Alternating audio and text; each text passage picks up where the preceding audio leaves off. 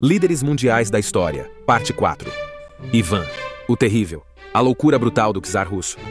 Nascido em 1530, Ivan IV Vasilievich herdou o trono russo quando tinha somente 16 anos, marcando o início de um reinado controverso.